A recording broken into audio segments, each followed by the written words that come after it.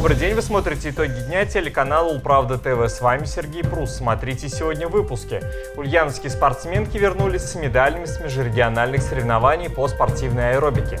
Комфортная среда в Димитровграде готова на 85%. Число 13 стало удачным. В Ульяновске с участием посла Франции открылся культурно-образовательный центр «Альянс Франсез». Зачем следят за ульяновцами и работает ли служба 112?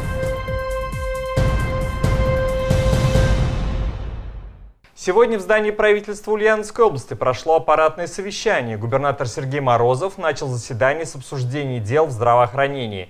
Так, глава области подверг критике работу директора территориального отделения Фонда обязательного медицинского страхования Владимира Смирнова и поручил уволить его. Причиной разбора стал неподготовленный доклад перед депутатами законодательного собрания. Губернатор также раскритиковал состояние Центральной городской клинической больницы и Сурской районной больницы. Еще одной темой стало упразднение с 1 января должности председателя правительства области. Кабинет министра возглавит лично губернатор. Подробный материал об аппаратном совещании можно посмотреть на нашем сайте ulpravda.ru. В 2019 году на реализацию программы формирования комфортной городской среды в Димитровграде было выделено почти 89 миллионов рублей. Из них 85 из федерального бюджета и около 3 миллионов из областного. На эти деньги в городе Атомщиков должны были благоустроить 27 дворов и 3 общественных территорий. О том, что уже сделано и что только предстоит, корреспонденты Демград-24 узнали во время рабочего визита в Димитровград губернатора Ульяновской области Сергея Морозова. В ходе пятничной рабочей поездки в Димитровград губернатор Ульяновской области Сергей Морозов решил лично проверить ход работ на всех объектах благоустройства. Первым делом глава региона побывал на улице Терешковой. Здесь подходит к завершению работы по благоустройству второй очереди масштабного проекта «Аллея учителей». То, что мы обещали, значит, к середине октября закончить с серой плиткой вот этой гроз, э, прошел с заводом, немного проблема была, они нас на 10 дней по сроку продлили. Поэтому мы на 10 дней задерживаемся, но у нас, повторяю еще раз, по плитке на стражи все закончено, мафы мы начинаем ставить, они все приехали, звезды мы все восстановили, сделали, осталось доложить 3 звезды. Далее 6 звезд почета, почетных граждан мы устанавливаем на последней площади, то есть нам осталось по большому счету доложить только плитку, вот эту гроз. Губернатор указал местным чиновникам на необходимость привести в порядок и памятник Георгию Димитрову. Негоже оставлять в плачевном состоянии объект, посвященный человеку, чье имя носит город. Сергей Морозов также поручил сделать все возможное, чтобы к 2022 году в Димитровграде были приведены в порядок все постаменты. В ходе небольшой экскурсии по ремонтируемому объекту дается еще одно поручение. Давайте с, не, с Нером там проговорим, может быть, там тоже какие-то... Усилить. УНКЦ освещение, да? Ну, в самом, в самом, вот туда, там, где э, барельеф не оставил без внимания Сергей Морозов и дворовые территории, которые в 2019 году попали в федеральную программу формирования комфортной городской среды. Дворы, расположенные по проспекту автостроителей 21 и 23, входят в ТОС Черемшан. На оба двора было потрачено чуть более 3 миллионов рублей. Ранее этот двор также реконструировали, но последние изменения, как говорится, стали финальным штрихом. Жители очень довольны тем, что им удалось сделать из двора за три года. Благодаря вам, Сергей Иванович, вот у нас пошло, значит, э, движение. Вы нам выделяли на внутриквартальную дорогу, помните, это парковочный карман, мы это сделали. Просили. Большое вам спасибо. Вот эта вот программа, ТОСовская, то, что вы поддерживаете как губернатор, это эффективная работа, вот именно по реализации наших собственных инициатив. Изюминка реализации федеральной программы формирования комфортной городской среды в Димитровграде в этом году смело можно назвать парк духовности. Работы здесь велись по двухгодичному контракту. Не без проблем, не без пинков и тычков сверху удалось превратить некогда заброшенную территорию в настоящую городскую достопримечательность. Шикарное вечернее оформление территорий и впечатляющий вид днем не может оставить равнодушным никого, ни жителей, ни гостей Димитровграда. Официальное открытие парка состоялось 18 октября. В день 19-й годовщины канонизации небесного верховного покровителя города, преподобного исповедника Гавриила Архимандрита Меликесского. Кемран Кичимайкин, Виталий Немов, Демград-24, специально для Управда ТВ. В Саратове идет сбор подписей за возвращение смертной казни. Однако, как заявляют юристы, Россия должна выполнять статью 18 Венской конвенции, так как подписала протокол номер 6. Основным обязательством по нему является полная отмена смертной казни. Таким образом, с 16 апреля 1997 года в России не может применяться смертная казнь. Однако даже на странице Государственной Думы ВКонтакте появился соответствующий опрос. Что думают об этом ульяновцы? Стоит ли вернуть смертную казнь? Доверяют ли они судам вопросы жизни и смерти? Наш корреспондент провел опрос на улицах Ульяновска. Я считаю необходим, потому что всякую шваль нужно, ну как бы, вот, к примеру, человек, он вот педофил, он убил какую-нибудь девочку маленькую, ну что, его живых что ли оставлять? Ну это же животное, ну я считаю, смертная казнь необходима просто для всяких, ну, всяких мразей, они не должны жить, ну как бы не заслуживают этого, я так считаю. По отношению к некоторым, да, но не ко всем, потому что некоторых людей незаслуженно так наказывают э, из-за того, что они простые граждане, и их, с ними не хотят считаться. Я все же, наверное, отношусь к этому отрицательно, поскольку есть риск всегда судебной ошибки. А, знаете, у нас существует а, презумпция невиновности, то есть, а, как говорят, лучше оправдать говорят, по-моему, 10 виновных, чем наказать одного э, невиновного. То есть, ну, наверное, в этом случае я отношусь отрицательно. Не всегда судьи бывают правы в этих случаях. И поэтому пока рано, мне кажется. Считаю, за убийство детей стоит смертную казнь вести. Так я считаю, да. За детей это, да, можно. Я считаю, что стоит. Жизнь за жизнь, да. Пусть, э, да, всегда есть справедливость, несправедливость, но я как мама маленького ребенка, да, я считаю, что это нужно. Ну, конечно, стоит. Конечно, стоит. Это же дитё. Твое дитё. Конечно. А я считаю, что нужно вводить превентивные меры, а не меры наказания по факту совершения преступлений, потому что, а, как известно, введением, ужесточением наказания не изменяется статистика преступности. Так что если мы хотим избежать преступности, мы должны вводить превентивные меры. Ой, я не знаю, я такая жалливая. И тех э, мне жалко, и этих жалко. Так что вернуть, наверное, не надо. Я считаю, что у нас в стране не очень сильное правовое поле, а когда, ну, правовое поле, скажем так, э, не гарантирует презумпцию невиновности в полной мере, то смертная казнь это чревато э, казнями невинных людей. Когда у нас они могут сидеть в тюрьме, да, есть время для того, чтобы найти доказательства и оправдать. Э, я как бы, ну, читаю на эту тему, и как раз Александр Сыпкин, писатель современный, он в своем блоге разместил фотографию 14-летнего мальчика, которого в Америке казнили на стуле электрическом. И как бы, ну вот он обращение к своим подписчикам сделал, что как бы голосую за смертную казнь.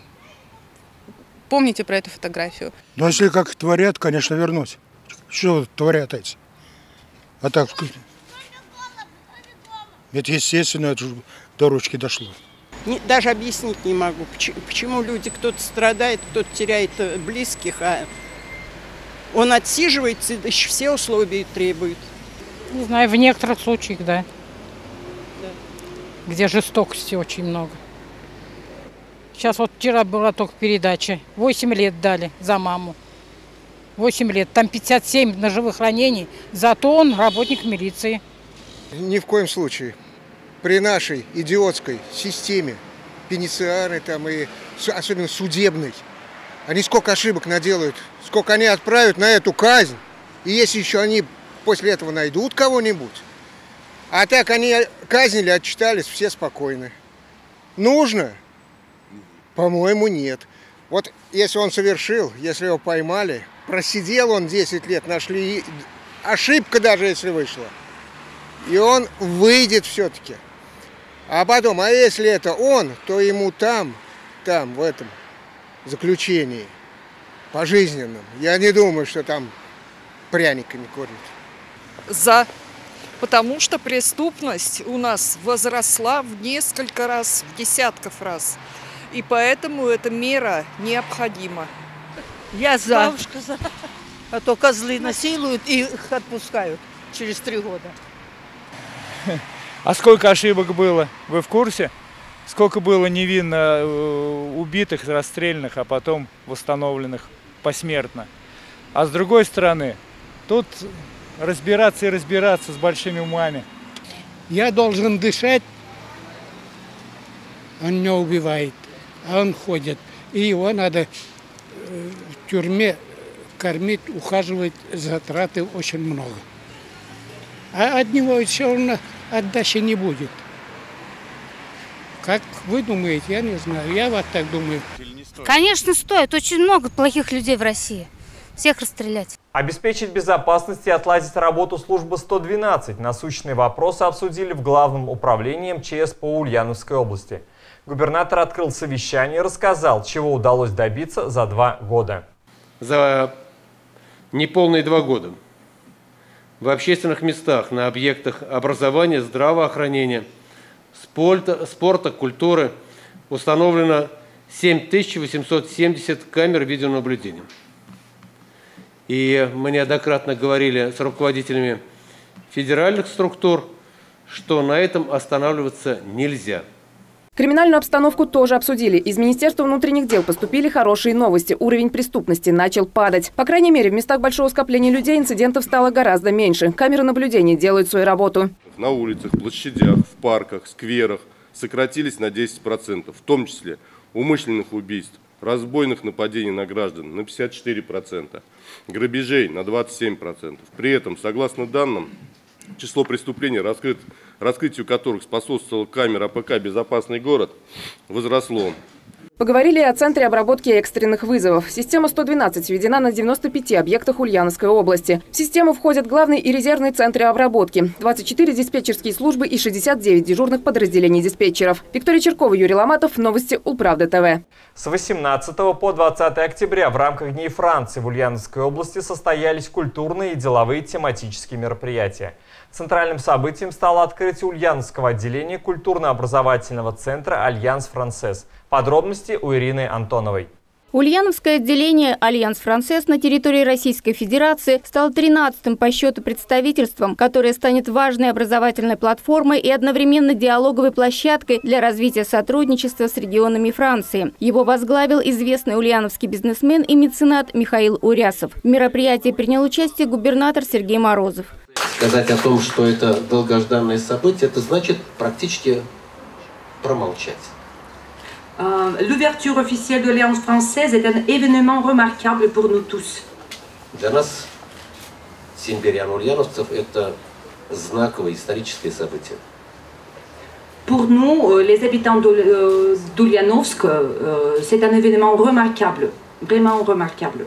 Франция наш главный союзник, наш давний традиционный партнер. La France, c'est notre partenaire traditionnel et de longue date. Ну и, конечно, наши человеческие государственные отношения имеют глубокие исторические корни. По словам главы области, опираясь на добрые традиции прошлого, регион и сегодня успешно развивает двусторонние отношения с Францией. Только за первое полугодие этого года внешнеэкономические отношения Ульяновской области с этой европейской страной выросли на 20%, а общий объем капиталовложений французских компаний, которые работают на территории региона, составил уже почти 4 миллиарда рублей. Почетным гостем торжественной церемонии открытия Ульяновского отделения «Альянс Франсез» стал посол Франции в России Сильви Аньес Берман. Она отметила, что Альянс Франсез не единственный совместный проект региона с Францией. Вот когда я ехала сюда из аэропорта, я видела и Ашан, и Леруа Мерлен, все это французские фирмы, так что в этой области, как вы знаете, мы очень много сотрудничаем, но не только. Скоро фирма Легран открывает здесь, будет осуществлять большой проект. Кроме этого, у нас еще есть проекты в области авиастроения. В разговоре со СМИ госпожа Берман призналась, что пишет книгу о России, в которой она обязательно расскажет о всех российских регионах, в том числе и об Ульяновской области. Также на торжественной церемонии открытия Ульяновского отделения приехал сам президент фонда «Альянс Франсез» Ален Пьер Дежен. Madame l'ambassadeur. Госпожа посол, уважаемый господин губернатор, уважаемый госпожа министр международных связей, господин президенты Альянса Франсез, дамы и господа, дорогие друзья. Открытие 13-й Альянс Франсез в России свидетельствует о динамизме нашей интернациональной сети, которая родилась 135 лет тому назад. Il y a plus de 135 ans.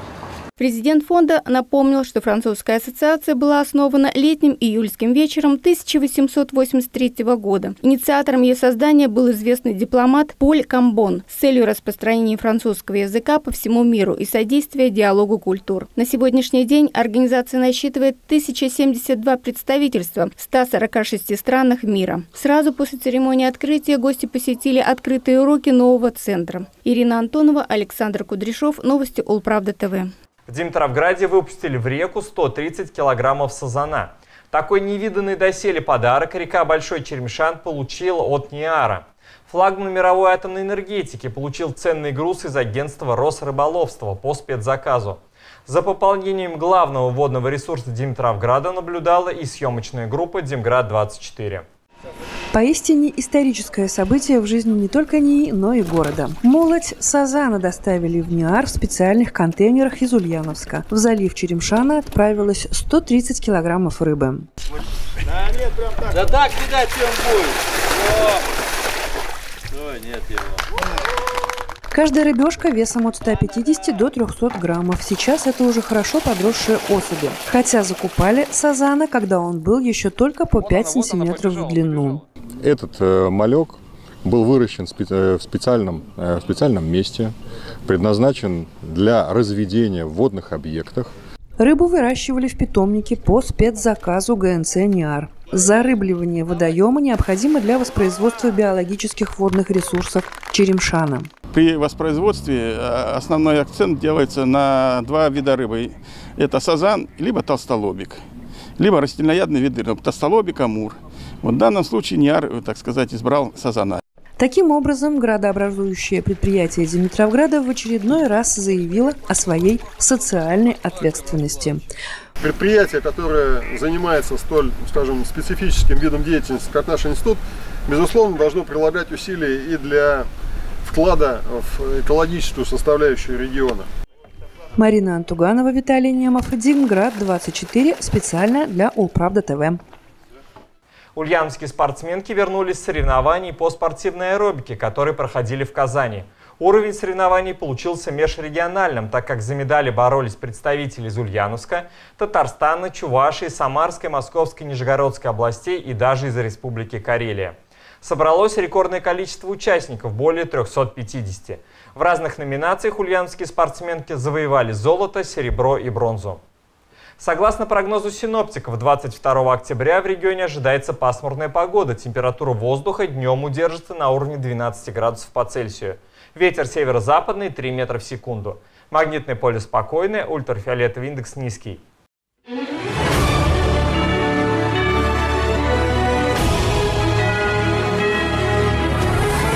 Президент России объявил 2019 год годом театра – Проект «Театральное Приволжье» реализуется при поддержке полномочного представителя президента России в Приволжском федеральном округе Игоря Комарова.